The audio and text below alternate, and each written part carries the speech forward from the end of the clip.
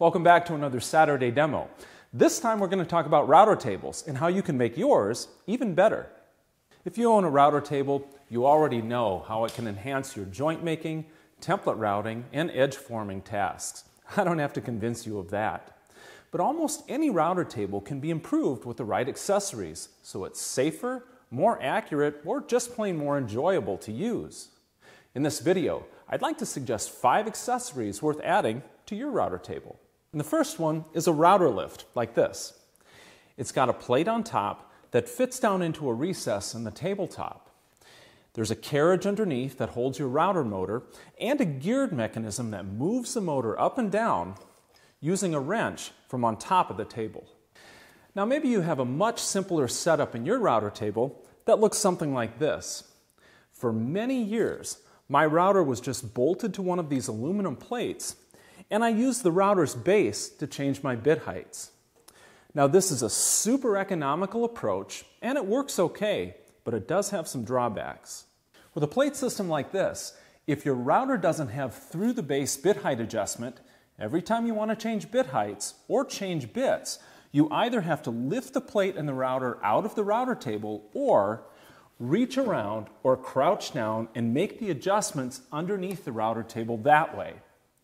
And that's a hassle, particularly if crouching or bending over is hard for you.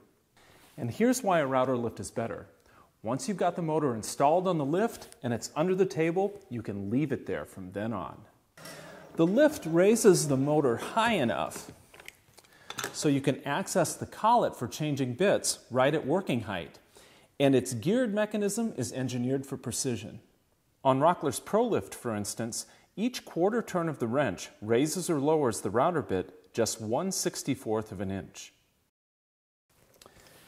And that's the high degree of precision you need to get joints to fit together properly. Now, there's no denying that router lifts are expensive, but if you're serious about taking your router table to the next level of performance and convenience, this is the way to do it. Now, on the flip side, this second accessory costs under $10 and you'll appreciate it if you've ever scraped a knuckle adjusting the knobs on your router table fence. Oftentimes these fence knobs are too short or too close to the fence body to really be able to get your fingers on them very easily. Well, Rockler has a solution in these new easy to grip fence knobs. They stand more than four inches tall, which is taller than most router table fences. So you can get your fingers all the way around these soft, star-shaped knobs and your knuckles never even touch the fence. My third suggestion for an accessory is a safety on off switch, like this. You plug your router into one end, and the switch is plugged into the wall. I really like being able to turn my router on or off at tabletop height instead of having to reach all the way underneath. And let's hope this never happens. But this big paddle switch can help you shut your router down quickly by hand or even with a knee if there's ever an accident.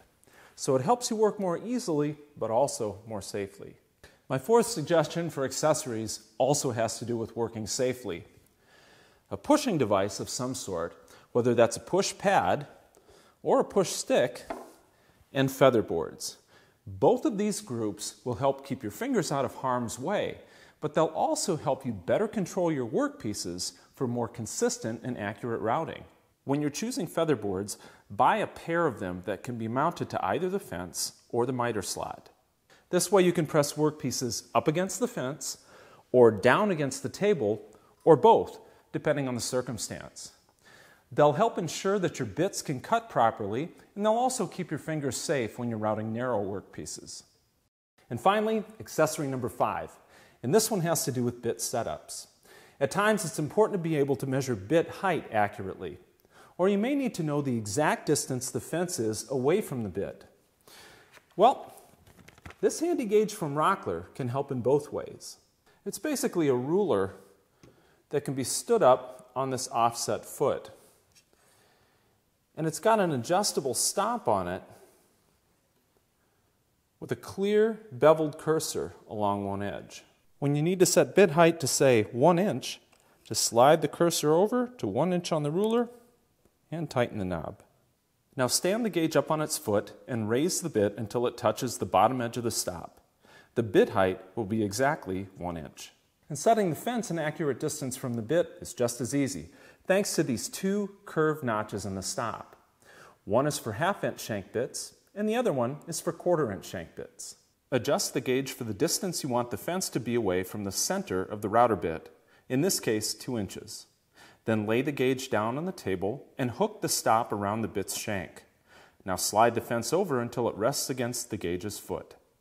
And now the fence is exactly 2 inches away from the center of the router bit. Easy. So whether it's for precision, workpiece control and safety, or just to make your router table a little bit easier and more enjoyable to use. These five types of products can help. Learn more about these and a variety of other routing products by visiting rockler.com or a Rockler store near you. I'm Chris Marshall with Woodworkers Journal magazine, and thanks for watching.